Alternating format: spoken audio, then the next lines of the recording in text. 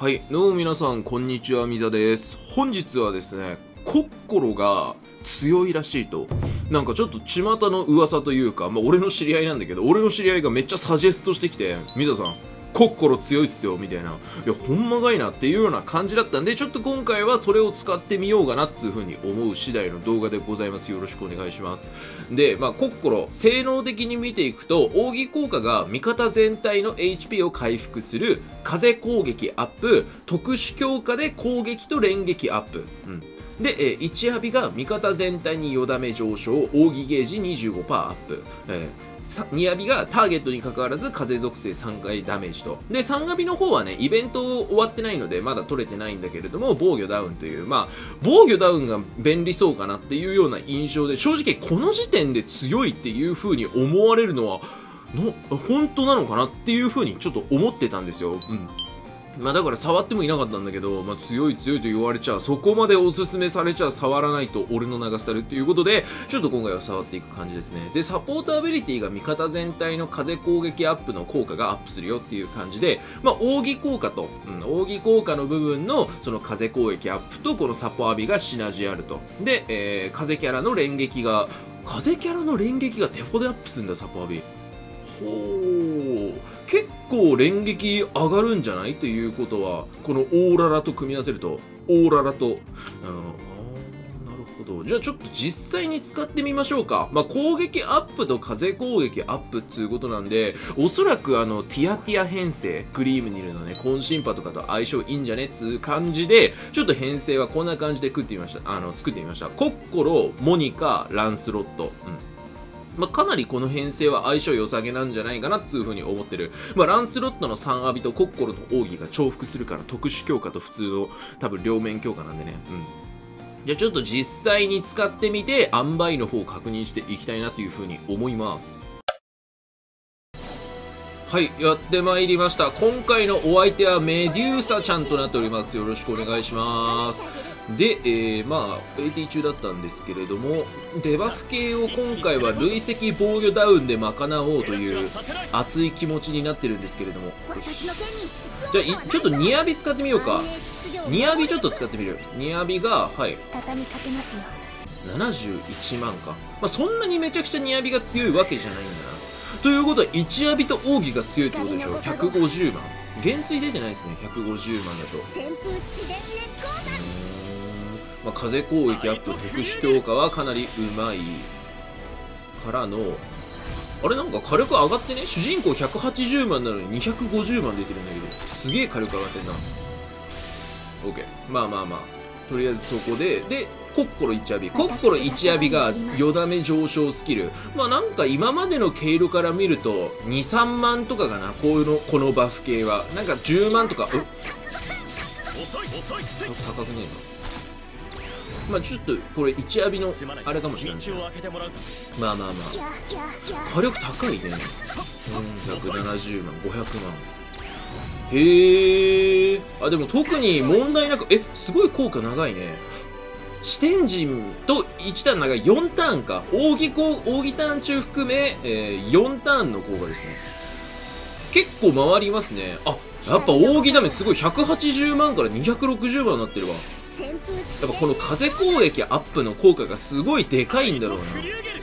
えすごいっすね。今のだけでなんかめっちゃ火力上がってんなって思っちゃったんだけど。で、えーまあ、相手の特殊技が飛んでくるまあまあまあここからちょっとじゃあ普通に殴ってみましょう。この状況。550万36万40ここでそろそろデバフが切れると思うんでちょっとデバフが切れた時のあれを見てみたいですね。デバフが切れた時のあれを。泣いても許さない。いやいやビーム来ご命てこれで、えーバフの効果が切れますね。で、50万、36、7、8万、えー50万、50万っていうダメージだったと。このダメージだったのが、ちょっと砂繰りしてみるね、一発。一発砂繰りさせて。この一発砂繰りのダメージが扇なしの36。すごいね、これ。めっちゃ火力高いじゃん。これやばくね？落ちるんじゃね？俺ら。ちょっと待って。大丈夫でした。えー、あなるほど。奥義がクソ強えんだ。なるほどね。奥義がクソ強い。やっぱ180万だもんな。すごっ。奥義の火力アップが。しかも HP 回復えぐいな。結構。ってことはさあれじゃないこれ。オート放置とかで使えるんじゃない？オート放置をした時にさその勝手にコッコロだけが HP を回復していくからさちょっと次ターンさあのキャラクターとかをしっかり練ってみてあのユグマグ HL オート放置してみる、うん、ユグマグ HL オート放置とかめちゃくちゃなんか貢献度稼げそうな感じしますね。私の剣に弱さはないぞ。あここまで火力上がるんですね防御デバフ結構適当だなっていうふうに思ってたんだけどそれでもなんかもう容赦ないほどに容赦のないほどには出ますね。えー、あちなみにこの扇ゲージ上昇って自分だけ？あ味方全体上がるんだこれ。見てなかったわ。さっき1アベ見てなかった。俺なんかこのこの書き方どうなんだろうなって思ってたんだよね。このコッコロのコッコロのアビリティこれどうなんだろう？25%上昇って味方全体なのかな？それとも自分だけなのかなっていう風に思ってたんだけどこれやっぱ味方全体か。なんかこっそりおかしいなとこっそりどうなんだろうっていう風に思ってたんだよね。えー、扇ゲージの上りも悪くないんだ。でここからさらにさ防御ダウンを手に入るんでしょ？って考えるとめちゃくちゃ硬いよな。なんか防御ダウン持ちで、ま、押村区はやり得意、ま、ちょっとあんまりこう使われてないというか、うん、言ったらあれだけどやり得意であるっていうところだけは少しマイナスかもしれないけどそれ以外の部分ここの最後の火力をこうもりっと持ってくれるんだったら全然ありだよね。えー、こんなこんなキャラクターが出てきたか。すごい火力が高いね。火力がまあそうだな。ただコッコロ以外の火力はめちゃくちゃ上がるんだけどコッコロだけはまあちょっと火力低めなのでコッコロの火力はしっかりアシストしてあげたいかなっていう気はしますね、うん、まあそこだけはあるかな。なるほど。一気に攻め込むぞ。手出しはさせない。手出しはさせない。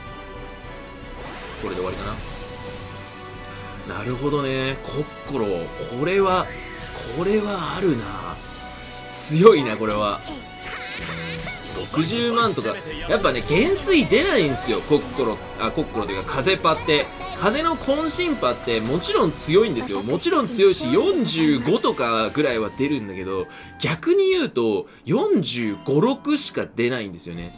そう456しか出ないから少なくともこの装備だったら HP が減らないと、うん。っていう風になってるんで、攻撃力のあと一歩っていうのは正直課題なところはあったんですよ。うん。それをコッコロは補えますね。LB ちなみにどうなってんの？稀に全ての攻撃を回避。しかも扇ゲージ上昇も DATA も持ってる連撃系アシストも強いんだ。これは、ママ。今まで以上にお役に立ちます。ママいい LB。ママママいい LB じゃん。ということで、ちょっとじゃあ最後にオート放置してみよう。うん。あの、じゃあ、ユグドラシルマグナ HL をオート放置して、ちょっとどこまで貢献度、誰か一人が落ちるまでどこまで貢献度を稼げるかっていうのをちょっとやってみようか。オート放置で。誰か一人落ちたら終了。これ。うん。ちょっと試しにね、試しにそれだけややらして。よし、じゃあこれでアビポチだけはポチポチしたんで、まあ、ここからちょっとオート放置してみたいと思います。まあ、貢献度どこまで稼げるか。やっぱ HP 回復があるから、味方全体 HP 回復があるから、かなり継戦能力も高いんじゃないかなっていうような睨みをしています。はい。それじゃあ行ってみます。光のご加護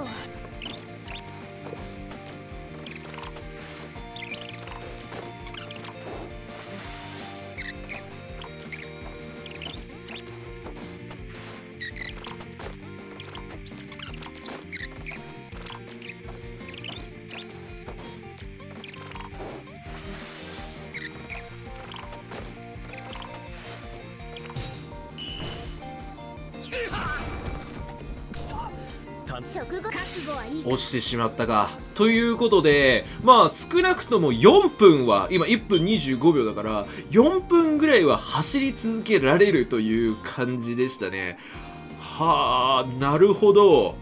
もう、4分、だって、ユグドラシルマグナって通常攻撃バチクソ痛いですからね。通常攻撃バチクソ痛いユグドラシルマグナに、ここまで耐えられるかっていうところがありと思いませんか僕はあると思ってます。はい。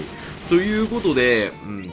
あのー、かなりコッコロは強い。ま、あの、間違いなく強いなっていう風に思いました。まあ、あの、ここからさらにね、3アビの方で防御ダウンが手に入るっていうことも考えると、初心者にはもう本当に破格と言ってもいいんじゃない？破格っつってもいいほどの性能してると思いますね。もう LB とかの補強さえしてしまえば、さらにこう、安定性も増すし、まあ、コッコロはこの扇ゲージ上昇路とかをバッチリ振ってしまって、なんかそういうバッファー要因みたいな感じで回しちゃうのもいいと思うし、まああの、クリティカルとか風攻撃とか振って火力の補助をするっていうのも全然ありだと思うしで、これはすごいな思ってた以上のキャラクターだったわということで、まあ、もしコッコロを手に入れた人はぜひとも育成してみてくださいつう話でございました。それでは皆さんまたお会いしましょう。さよなら。バイバーイ。